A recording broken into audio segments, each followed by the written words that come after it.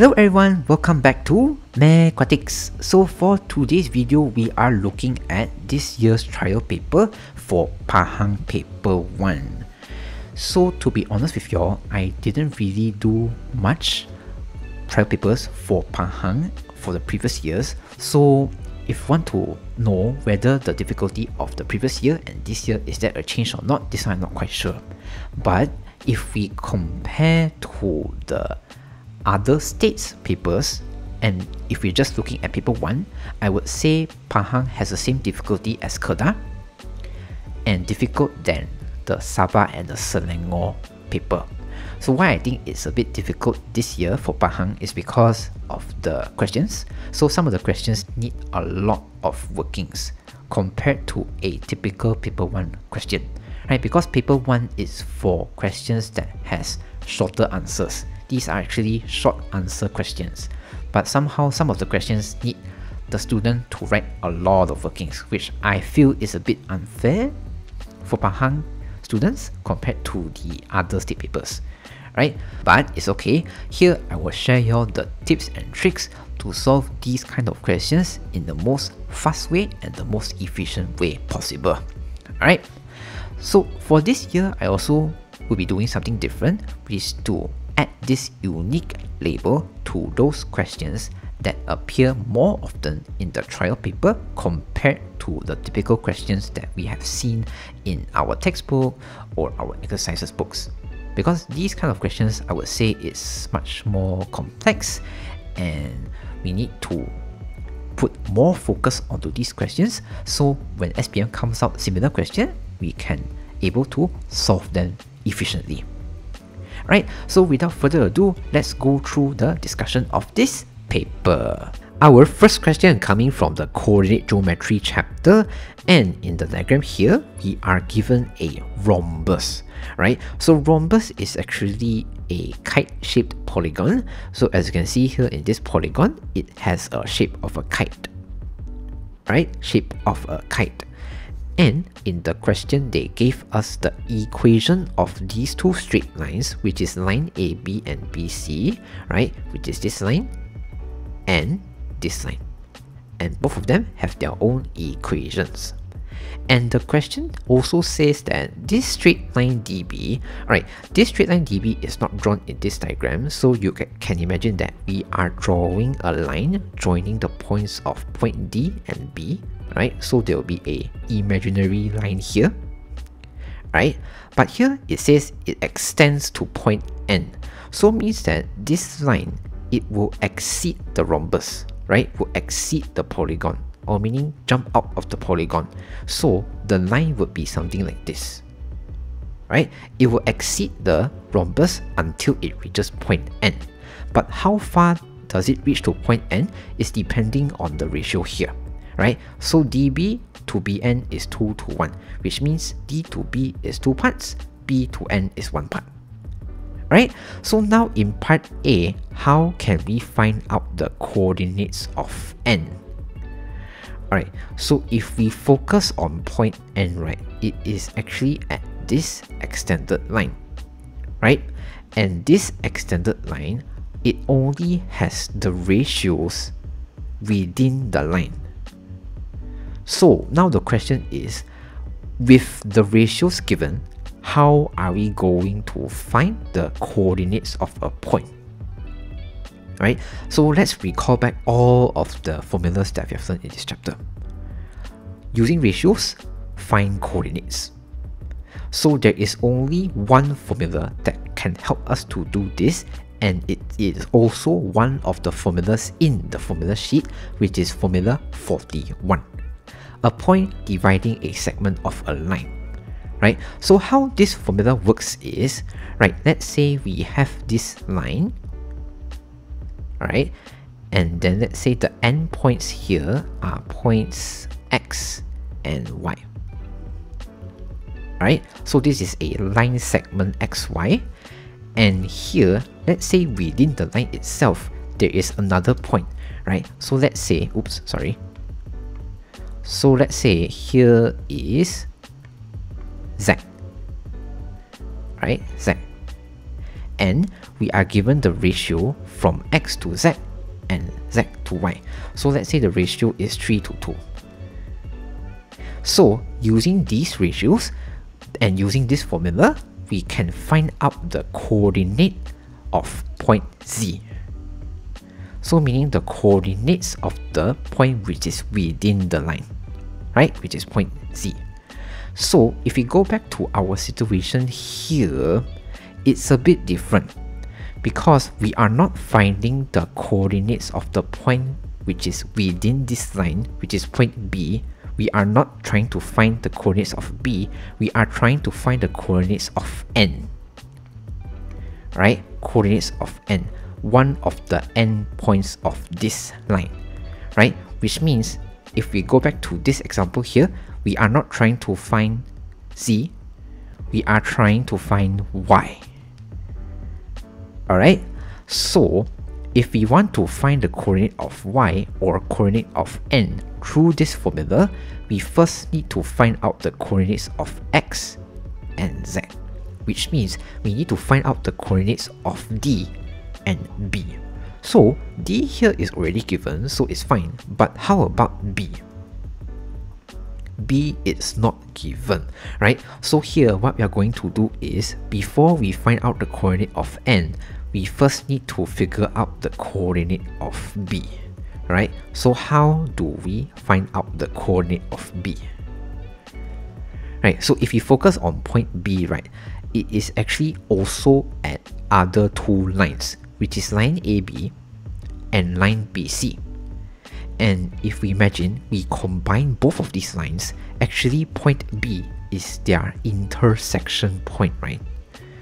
Their intersection point. So there are few ways to find out the coordinates of the intersection point, but we need to have the equations of those lines, which in this question we are already given. Alright, so let us use these two equations to help us find the coordinate of B. Right, so I'm going to put these two equations here and let's rearrange them. So how do we rearrange them is basically to move x to the left side. Right? For both of the equations, we move x to the left side. Or meaning the only thing on the left side is x. Right? Why I do so is because later when we have the x values of these two equations, then we can compare them and to find out the coordinates. So now we can compare these two values or meaning combine these two values to form one equation and find out the value of y or the y coordinate, right? Because in this equation, there is only y. And why we can combine these two things is because these are the values of x, right? So since both of them are x, then I can just form them into an equation. Okay, so now to find out the value of y, what we are going to do is to move everything that has y to the left side. Those that does not have y, move to the right side. So the y coordinate is 3.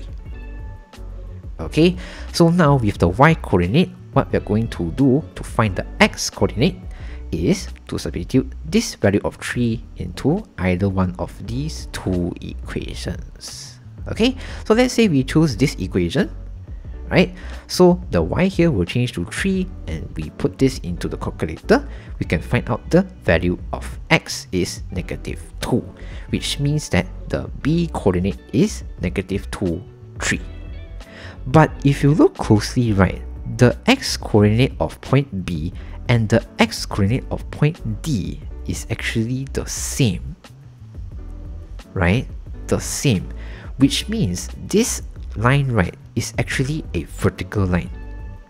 It's a vertical line, which means all of the points which are at this line here, all of their x coordinates are the same, which includes point n. Okay, so I'm going to put a note here, so later we see whether this x coordinate is negative 2 or not. Right? Because in theory, B and D have the same x coordinate, so everything which is on this line would also have the same coordinate, right? The same x coordinate. Okay, so now we have found out the coordinate of b already. So now let us use the formula here to find out the coordinate of n. Right, but first let us understand how are we going to use the information that we have to substitute inside this formula. Right? So let us understand left side and right side, what are we going to substitute? So let's start off from the left side. So x and y here is actually the coordinates of the point which is within the line. So meaning we are going to put the coordinates of z inside here. So back to our question here, we need to substitute the coordinates of the point which is within this line, which is point B, right? So we are going to substitute the coordinates of point B on the left side of the equation.